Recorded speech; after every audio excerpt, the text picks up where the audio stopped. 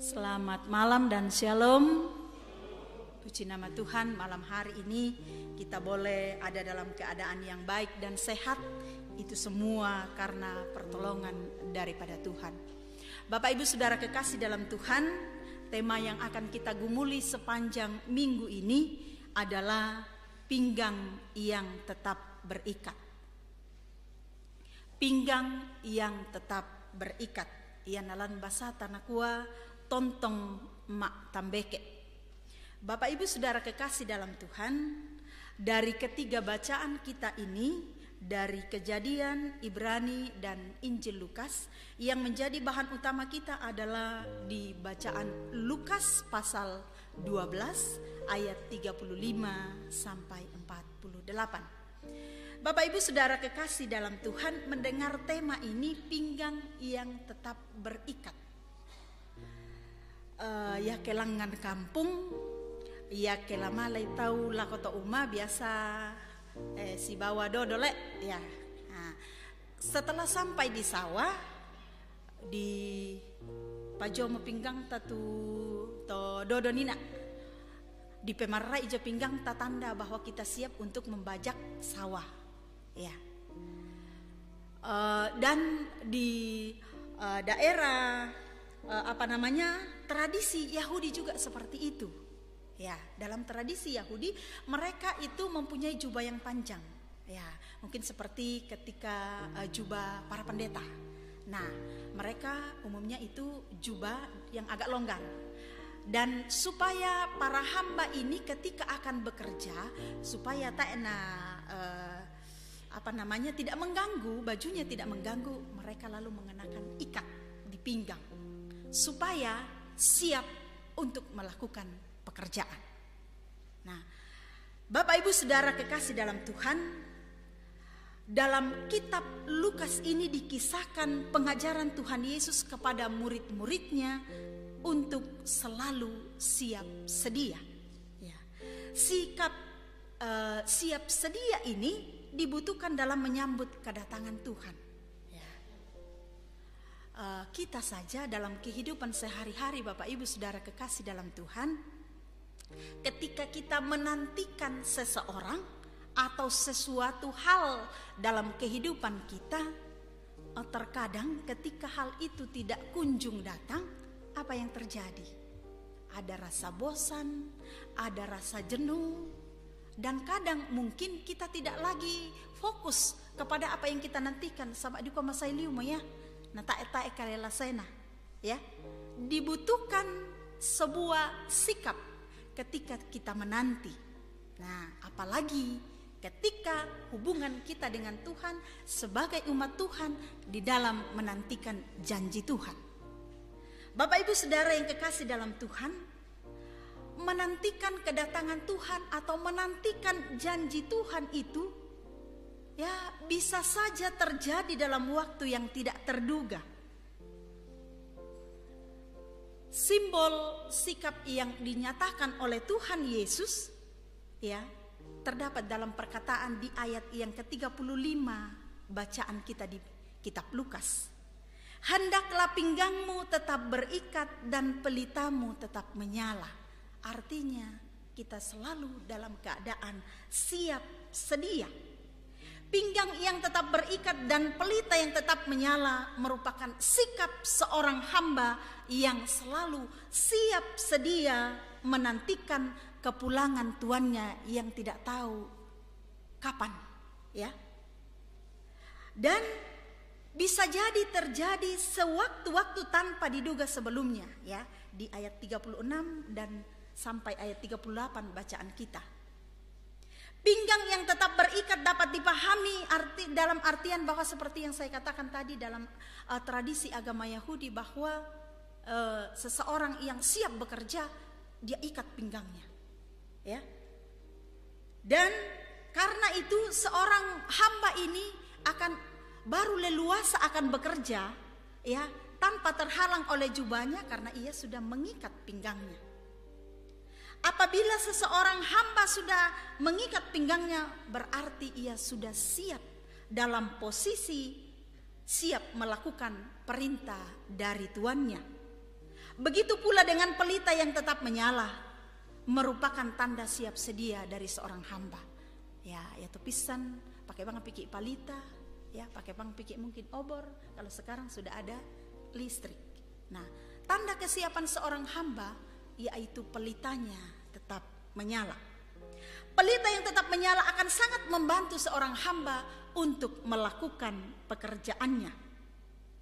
Dan ketika tuannya datang, dia dapat melakukan penyambutan kepada tuannya yang dia tidak tahu tuannya kapan pulang.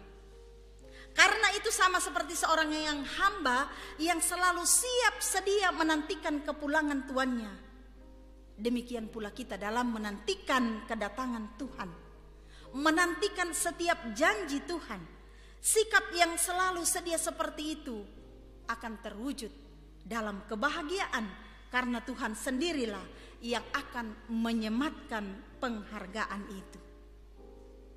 Bapak Ibu Saudara yang kekasih dalam Tuhan, kita melihat di bacaan kita yang pertama di kitab Kejadian.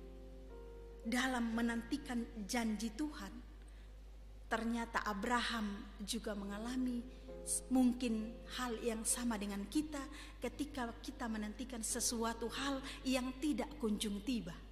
Ya. Abraham sudah tua, istrinya juga dikatakan sudah mati haid. Tuhan pernah berjanji kepadanya bahwa keturunanmu akan seperti bintang di langit, pasir di laut. Tetapi nama tuamu nata ebang janji. Wajar bagi seorang Abram lalu kemudian takut tetapi apa yang terjadi? Datanglah firman Tuhan kepada Abram dalam suatu penglihatan. Kata Tuhan, jangan takut Abram, akulah perisaimu, upamu sangat besar. Dan Abraham menjawab, iya Tuhan Allah, apakah yang akan engkau berikan kepadamu? Karena aku akan meninggal dengan tidak mempunyai anak. Dan yang akan mewarisi rumahku ialah Eliezer, orang Damsik itu hambanya. Di sini nyata bahwa Abraham merasa bahwa janji Tuhan tidak kunjung-kunjung tiba dalam hidupnya. Tetapi lalu kemudian Tuhan tahu. Makanya dia datang meneguhkan janjinya itu kepada Abraham. Dan kita tahu di sana bahwa Abraham percaya dan di ayat yang keenam dikatakan di kitab kejadian tadi Lalu percayalah Abram kepada Tuhan, maka Tuhan memperhitungkan hal itu kepadanya sebagai kebenaran. Bapak, ibu, saudara yang kekasih dalam Tuhan, seberapa kita yang ketika kita menantikan sesuatu dan tak kunjung tiba, lalu kemudian kita protes kepada Tuhan, kok kenapa Tuhan sudah sejauh ini saya menanti? Tetapi janji Tuhan kenapa belum ditepati dalam hidup saya? Kita melihat Abraham. Abraham sempat merasa takut. Abraham sempat merasa gelisah. Tetapi ketika firman Tuhan datang kepadanya, Abraham lalu kemudian percaya dan itu dikatakan bahwa diperhitungkan sebagai kebenaran. Kita pun Bapak Ibu Saudara kekasih dalam Tuhan. Dalam kehidupan kita banyak hal yang kita nantikan. Terutama janji Tuhan dalam kehidupan kita. Tetapi di dalam penantian kita jangan kita takut. Jangan kita risau, jangan kita putus asa. Tetapi yakinkan diri kita bahwa janji Tuhan itu kekal. Sehingga di dalam penantian kita kita tidak akan jenuh, tetapi tetap fokus kepada komitmen kita. Bapak Ibu Saudara kekasih dalam Tuhan, dari uh, bacaan kita yang kedua tadi dikatakan bahwa karena iman, ya, karena iman. Pengertian iman itu ada di situ, ya. Iman adalah dasar dari segala sesuatu yang kita harapkan dan bukti dari segala sesuatu yang tidak kita lihat. Ketika kita beriman, walaupun belum kita lihat, tetapi kita yakin dan percaya bahwa itu akan dinyatakan Tuhan bagi kita, dinyatakan Tuhan bagi kita, pasti kita akan mempercayai itu dan kita akan menerimanya. Kita lihat Abram dan Sarah tadi sempat merasa takut, tetapi ketika janji Tuhan datang, dia lalu percaya.